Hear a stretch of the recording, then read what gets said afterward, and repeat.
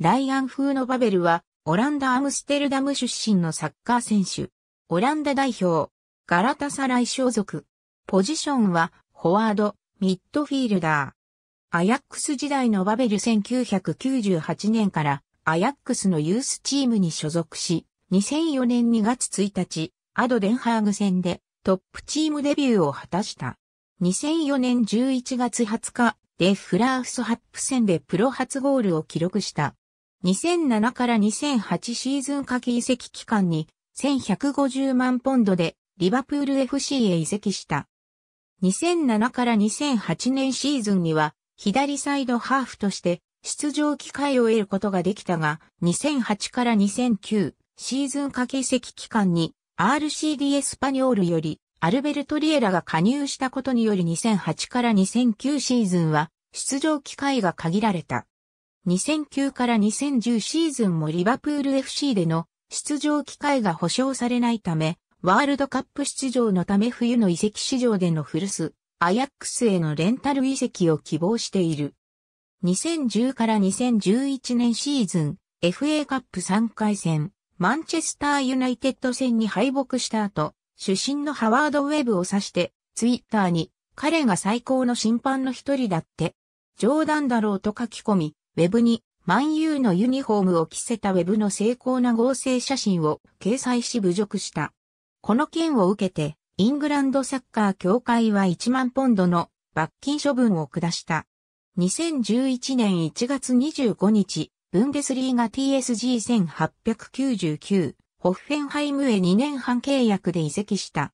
2012年8月、ホッフェンハイムとの契約を解消し、古巣のアヤックスに移籍。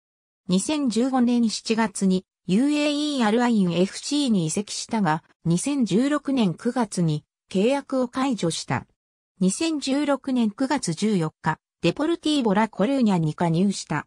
2017年1月2日、ベシクタシュ JK と2019年6月までの契約で加入した。2019年1月15日、フラム FC に完全移籍。2019年6月、トルコのガラタサライに移籍した。2020年1月11日、2020年6月30日までのレンタル移籍でアヤックスに復帰することが発表された。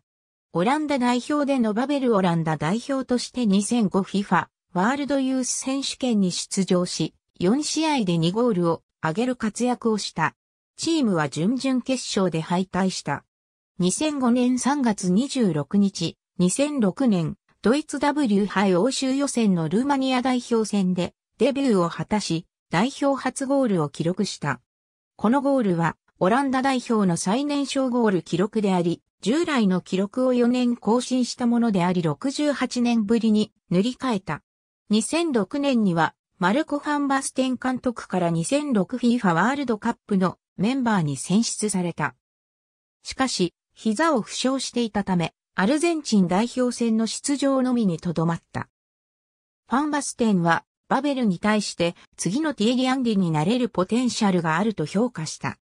2007年6月、U-21 代表として UEFAU-21 欧州選手権2007に出場し、2ゴールを上げチームの優勝に貢献した。決勝戦のセルビア代表戦では、マン・オブ・ザ・マッチに選ばれた。また翌年には、北京オリンピックにも出場し、1ゴールを記録した。2010年5月27日、ベルトファン・マルワイク監督から 2010FIFA ワールドカップのメンバーに選出された。チームは決勝に進んだが、バベルに出場の機会は回ってこなかった。2017年9月、FIFA ワールドカップ予選で、ベラルーシ、ブルガリアと対戦するオランダ代表に6年ぶりに招集された。ありがとうございます。